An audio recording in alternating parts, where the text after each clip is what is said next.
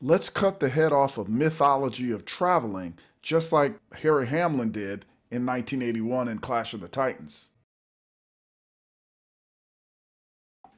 I bet you never thought you'd get a 1981 reference in this video about traveling. Well, that's a weird reference again.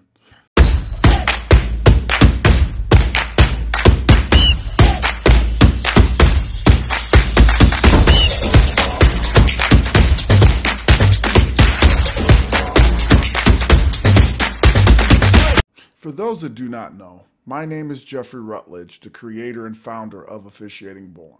I'm coming to you to start a five part series on the rule of traveling.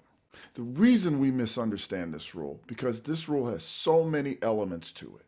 I want to make sure that I cover these in different parts so that we can not confound different parts of the rule and call this rule properly.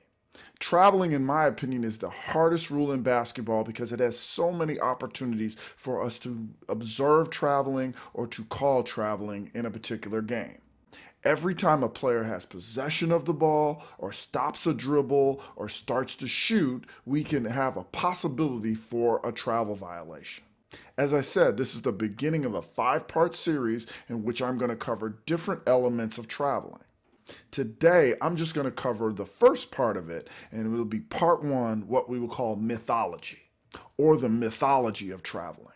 Because before we can unpack this rule completely, we need to kind of understand why people think certain things are actually the rule when they are clearly not stated.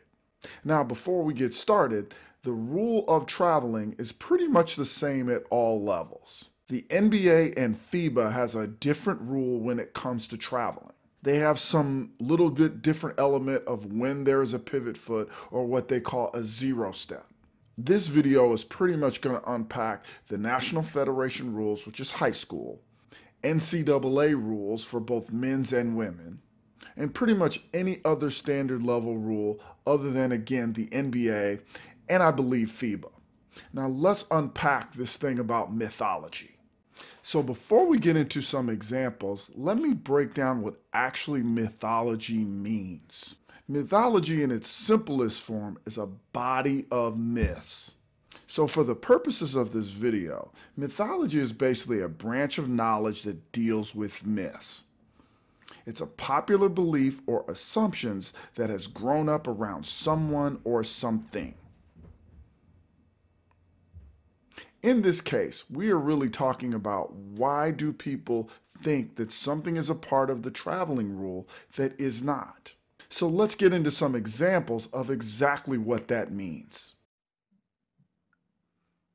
So let us deal with the big myth when it comes to traveling.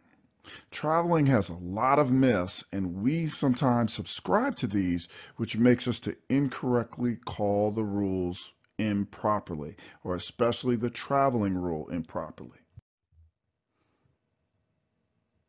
So how many steps does a player get before traveling? One, two, or three? So let's unpack this myth. Traveling rule doesn't involve any steps in the criteria of the rule at the National Federation level and the NCAA level.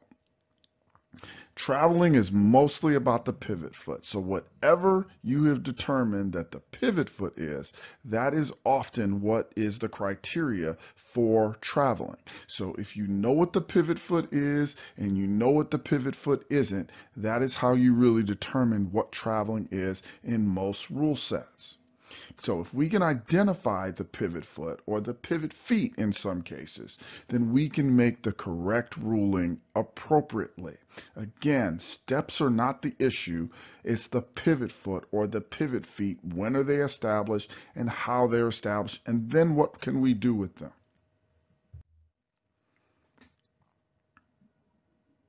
Okay, let's deal with another myth that is often talked about. Can a player catch their own shot?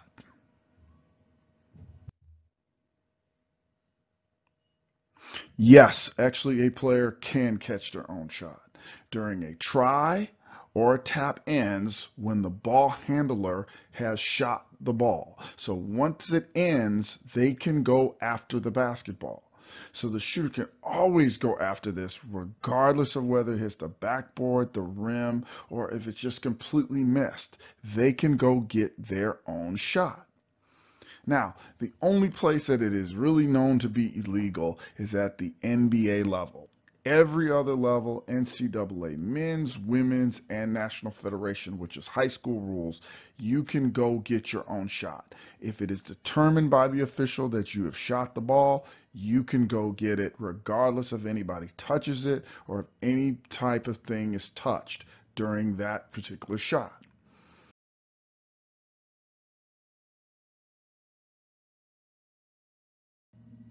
Let's unpack another myth can a player pass the ball to themselves? It is never a travel to pass the ball to yourself. Actually, a pass by definition is not passing the ball to yourself. But as a rule or as something that we often use, passing the ball and going getting the ball in itself is never a travel it can only be a travel if the requirements of a dribble that is started are not met properly.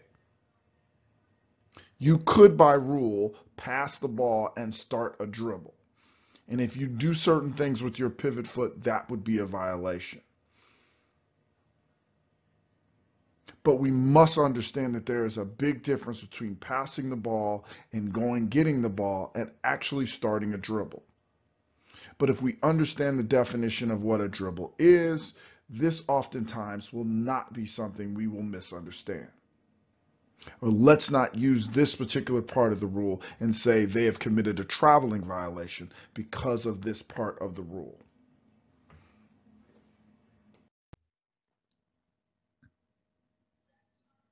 Let's unpack this myth.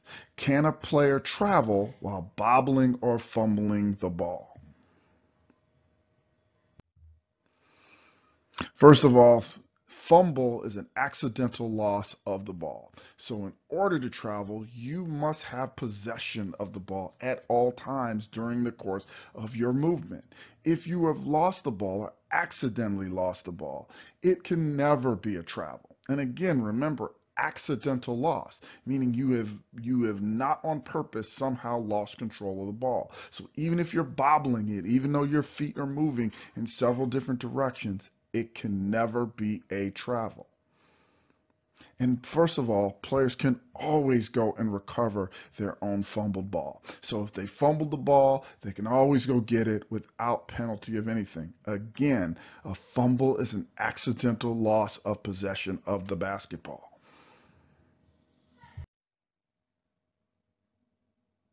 Here's another myth. A player cannot slide with the ball no matter how far. First of all, a player can slide as far as the momentum takes them while getting possession of a loose ball.